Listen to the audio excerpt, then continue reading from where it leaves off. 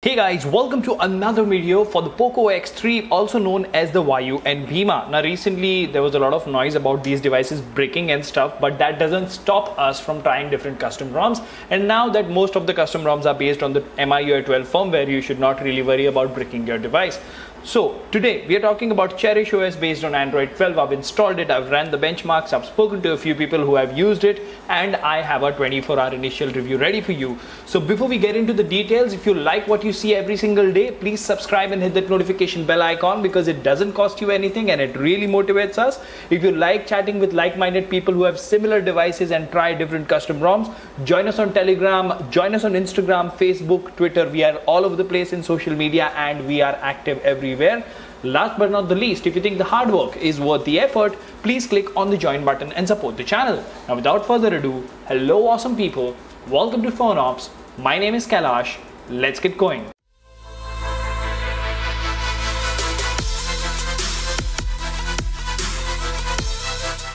Alright, so let's see what team Xperience has to say first. So let's go to Xperience OS or let's go to X3 Pro updates over here real quick. So X3 Pro updates, right? As you can see, there are different ROMs that are available and one of them is Xperience OS. So this is Xperience Official ROM S that is for Android S, OSS vendor Vayu and Bhima version 16 official, right? It's updated on the 29th of October 2021. Now the device changelog says initial Android 12 public release, advanced reboot options, add unlinked ringtone and notification volumes, add preference for maximum screen refresh rate, add three finger swipe screenshot. So I'll have to enable that. Bug fixes. Now this ships with G apps and as I said, the recommended firmware is 12.0.4 or higher. SE Linux status is enforcing and safety net passes out of the box. So all that sounds pretty, pretty amazing, right? Now let's increase the brightness here a little bit. Okay, now let's go to settings over here. And the first thing that I'd like to notice is the refresh rate because that's what matters. Now, as you can see over here, we are on 60 to 120. So that's all fine and good. Now, the moment you boot into this particular ROM, you will see that you have a very colorful and beautiful wallpaper over here. Very, very minimalistic approach. It does have customization. Now, with Android 12 custom ROMs, we are in a situation wherein things are getting better. Now, as far as Android 12 ROMs are concerned, we are in a situation wherein they have started getting a lot of customization and soon things will be better, smoother, more stable, and we will be able to differentiate between custom ROMs because initially all the Android 12 based custom ROMs were looking pretty vanilla and pretty, pretty basic. So what do we have here? Very, very basic icons this ships with Gcam Go, which is always a good thing compared to the very basic camera application. And yes, it works absolutely fine.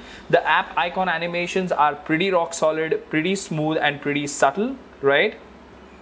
We will talk about the multitasking menu here, but to the left you have Google Feed. Now, as always, this is the highlight. The Google feed is butter smooth and it works as expected. If you swipe from the top to bottom, you will see that you have the quick tiles, the Android 12 Monet UI doing its job. You have the edit button, you have the power menu over here, and then you have the settings shortcut, right? And everything works fine. So the reason I said everything works fine is because initially on Android 12 ROMs, what used to happen is the settings shortcut, if you access it from the quick tiles or the notification bar, you will see that it used to stutter earlier. Right now, it is not stuttering for me, which is a good start. Okay? Now you have a ton of quick tiles available over here. Screencast screen recording. Now this is a common problem across all the android 12 based roms for the poco x3 pro. Whenever you're using the built-in screen recorder the ui tends to lag and jitter now i'm trying to find that out right now yes it is stuttering I'm pretty sure they will fix it soon, but right now it is stuttering. So I would recommend you to use a third party screen recorder if you really, really wish to use screen recording, right? Now moving on, let's, let's have a look at the screen recording. I'm pretty sure it was stuttery, but yeah. Okay, so the screen recording is stuttery and I'm pretty sure that will be fixed soon you have additional options over here. You have your privacy shortcuts for blocking the camera mic and location access. Then you have caffeine something that keeps your screen on right? So if you're on a 15 second screen timeout and you enable caffeine your screen will continue to stay on. You have ambient display. Uh, yeah don't use always on display right? Because this is a device with a LCD panel and you will lose out on a bunch of battery life now that's everything about the quick settings or the notification tiles now if you go over here, you have home settings in which you have the quick step launcher if I'm not wrong and step by step it is getting customization on Android 12. Right now it doesn't have a ton of customization but things are increasing and things will be better in the near future. Now if you go to widgets, you have very very smooth Android 12-esque widgets which work absolutely fine and apart from this, if you go to wallpaper and style, you have the option of themed icons as you can see over here right? So I selected themed icons but for some reason themed icons are not working. And if you click on change wallpaper and select a wallpaper of your choice the whole UI basically changes color. So let's go to wallpaper and style. Let's go to change wallpaper and let's set this wallpaper again. As you can see yeah for some reason themed icons are not working. That's a little weird but hey that's not a big problem. I'm pretty sure it will be fixed later. Now if you talk about the app drawer you have a very very basic app drawer with the search apps option at the top and you don't really have a ton of applications. That is the highlight of most of the custom roms because that's what makes sure that you don't really get a slow experience or a stuttery experience by not having a lot of bloatware. Now let's go to settings over here and if you go to system you do have an option of system UI tuner over here. So as you can see status bar, you can enable or disable icons and as you can see over here show low priority notification as well. Then you have a shortcut for do not disturb, navigation bar and lock screen. So these are some basic customization options which are increasing with time as I said now, if you go to About Phone and you go to the Android version, you have Android version 12. You do have the Xperience logo over here, right? And then the security patch is October security patch and it's an official ROM. The kernel that we are talking about is the Yuki Iridium kernel that is supplied. Now, over here it says SE Linux permissive. I think it is because of safety net because it is mentioned that SE Linux is enforcing in the ROM description, right?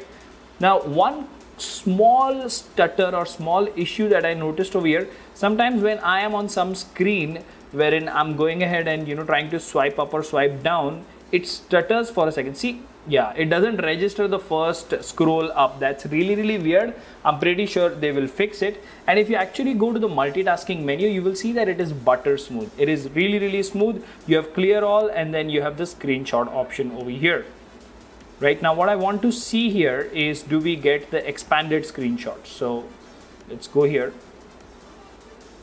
And I've not enabled three fingers so yeah. You do have the option of capture more with this magnifying look over here which is really really neat and it works absolutely fine. So now in settings you know network and internet mobile hotspot wi-fi all these basic things are working just as expected. They are very very standard things it doesn't make any sense in covering them again and again. So if you actually go to battery, you have something called as thermal profiles over here, right? I've set the thermal profiles and for gaming, you do have the 180 Hertz touch sampling rate activate manual touchscreen feature controls for better gaming experience so you have that feature and that's good and you have thermal profiles for different different you know applications benchmark camera gaming all these options are present. Now I have ran the benchmarks. I won't say that I'm mighty impressed or this is, you know, the highest scoring ROM and stuff like that, but it's doing a pretty, pretty decent job. As far as the battery life and, you know, charging are concerned, they're just fine. Just have a look over here. So if you go to battery usage, now this gap that you see here is because the phone was switched off when I had gone out. But yes, as you can see 1 hour and 14 minutes, you still have 43% battery. So the battery life is pretty decent. Now apart from this, the charging speeds are okay. Let's talk about safety net over here, right? So let's go ahead and test safety net real quick. Safety net passes just fine. Let's go to the Play Store and let's talk about the Play Store certification, device is certified, and what about DRM info? L1 certification present, so your Amazon Prime should be playing in HD and you should not have any problems at all. So the basic areas are covered. You have a decent camera application. This ROM charge is fine. The battery backup is there. There are some minor hiccups, some minor bugs here and there. Now let's you know go ahead and quickly have a look at the benchmark numbers for Xperience log. So first we will look at the CPU throttle test for which we will need the screenshot. Now, this is a screenshot as you can see over here, CPU throttled to 83% of its max performance and the average score was 184,206 GIPS and if you go to Geekbench, 9 Geekbench, the score was single core 771 and multi-core 2703. So pretty rock solid score there. And if you talk about Antutu benchmark over here, as you can see, it dropped 3% battery, the temperature went up by 5 degrees and the score was 550,2041. So overall decent benchmark numbers, good charging speeds, good battery backup and overall you will not have any problems using this ROM as a daily driver. I've not tested gaming. If you're a gamer, you can definitely install this ROM. Let me know in the comment section if you want me to make a video on how to install this ROM. Until the next one, this is Kailash signing off at PhoneOps. Keep smiling, take care, goodbye.